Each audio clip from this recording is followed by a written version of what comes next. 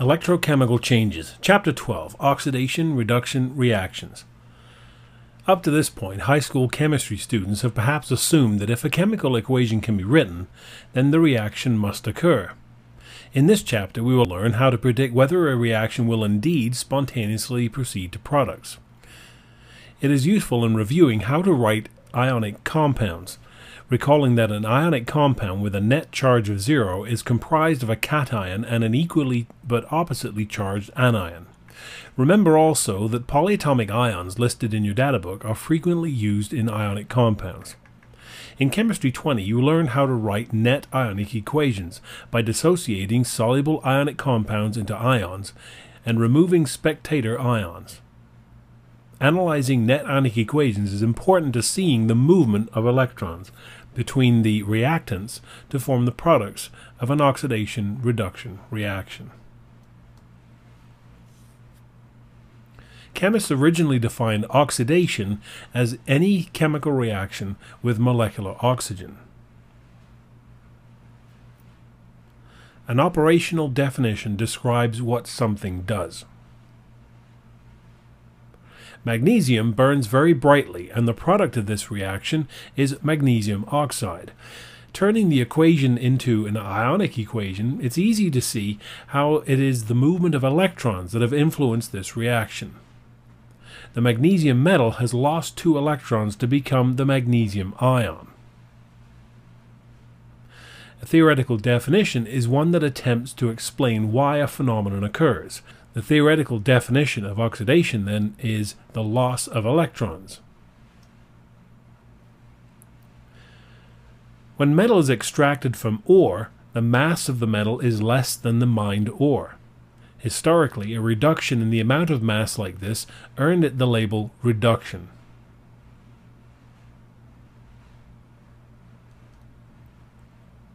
Iron 3 oxide or hematite is reacted with carbon monoxide to form iron metal and carbon dioxide. The iron oxide ore is reduced to iron metal. Specifically, the iron ion is gaining three electrons to become iron metal. Reduction then can be defined as the gaining of electrons.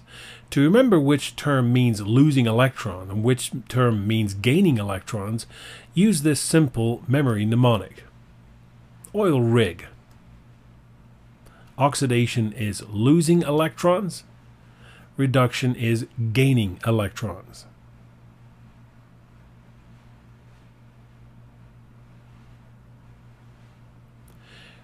Reduction oxidation reactions, or redox reactions for short, have an atom, ion, or molecule gain electrons that have been given away or lost by another atom, ion, or molecule.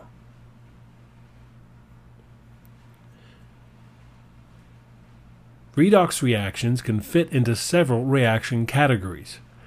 Formation and decomposition reactions are often redox reactions.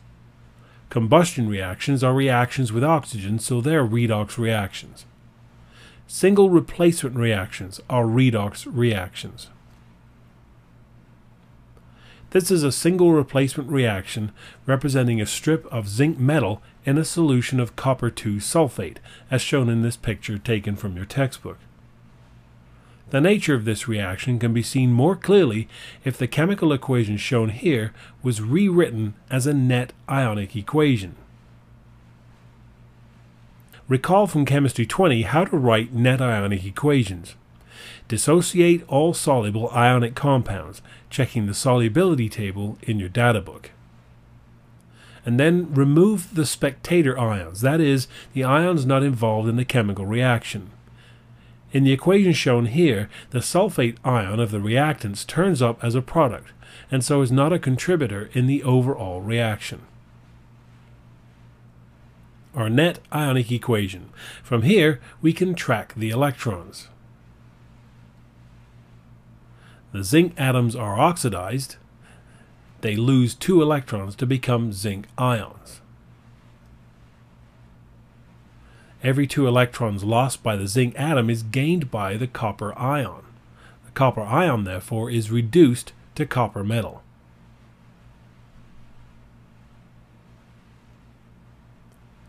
If this were the case, then we would expect to see copper metal appearing as the reaction progresses.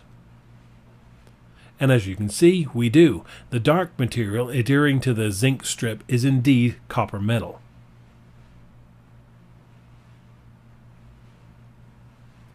We can summarize the reactions of a redox reaction as follows. Zinc is oxidized, that is, it's losing electrons, causing the copper ion to reduce, that is, gain electrons. In other words, the zinc metal is the agent responsible for the copper ion's reduction. Counterintuitive though it sounds, the substance undergoing oxidation can also be called the reducing agent. Likewise, the copper ion is the agent responsible for the oxidation of zinc and can also be called the oxidizing agent.